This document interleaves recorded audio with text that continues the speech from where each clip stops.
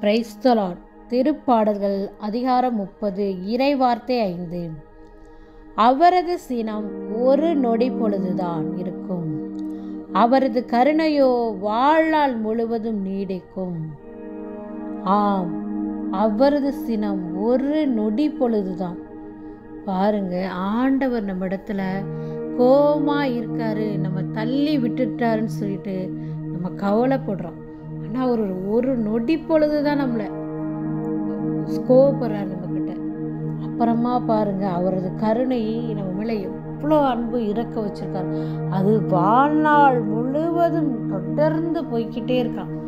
நம்ம எல்லாத்துலேயும் தோத்துட்டோமே நம்ம வெறுமையாக இருக்கமே நம்ம என்ன செய்வது?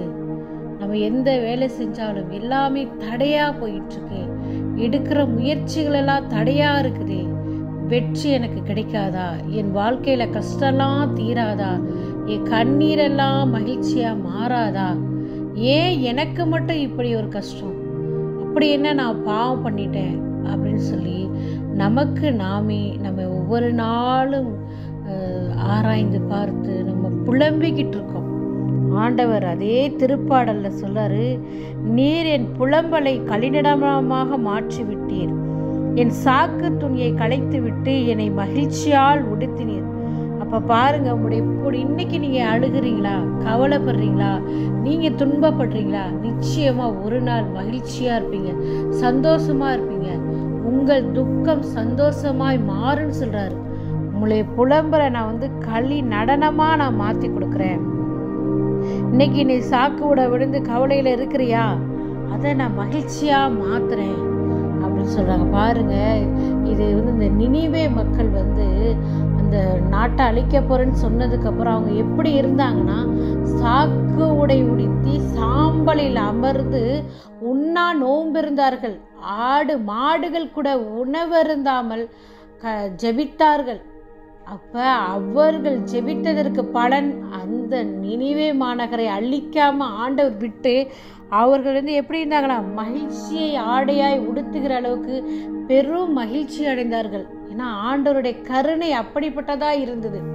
அதுபோல இந்த நாள்ல கூட நம்ம கவலையில கண்ணீர்ல தோண்டுகிட்டு இருக்கோமா? எது செய்யவும் முடியல. எதை செஞ்சாலும் தடைகள் பிரச்சனைகள். அதுலேருந்து எனக்கு விடுதலை வேணுமா? ஆண்டவர் சொல்றார் ஒரு நொடி பொழுதுதான் என் கோபம் இருக்கும். ஆனால் நீ வாழ்நாள் முழுவதும் நான் வந்து உன் மேலே அன்பாக இருக்கிறேன் மேலே கருணையாக இருக்கேன் இரக்கத்தை பொழியிறேன் அப்படின்னு சொல்கிற அந்த ஒரு நொடி பொழுது சினத்தை கூட நம்மளால் தாங்கிக்க முடியாமல் நம்ம தவிக்கிறோம் புலம்புறோம். ஆனால் நிச்சயமாக நம்ம துக்கத்தை சந்தோஷமாய் மாற்றி ஆண்டவர் தருவார் என்ற நம்பிக்கையோடு இந்த நாளில் செவிப்போமா எங்கள் அன்பின் பரலோக தகப்பனே அப்பா ஒரு நொடி பொழுது உடைய சினத்தை தாங்கிக்க கூட எங்களால் முடியவில்லை தகப்பனே. ஆம் தகப்பனே அதை தாங்கி கொண்டால் வாழ்நாள் முழுவதும் எங்களுக்கு கருணை கிடைக்கும் என்ற அந்த முழு மன நம்பிக்கையோடு நாங்கள் ஒவ்வொருவரும் வாழணும் ஆண்டவரே. எங்கள் வாழ்க்கையில் எங்கள் புலம்பல்களை எல்லாம் நீ கலிநடனமாய் மாற்றி அப்பா எங்களை வாழ்க்கையில மகிழ்ச்சியா நிரப்ப போறதற்காய் நன்றி செலுத்துகிறோம். இந்த விடலாம் ஆண்டவராகிய கிறிஸ்துவடியாக ஒன்றாடுகிறோம் ஆமேன்.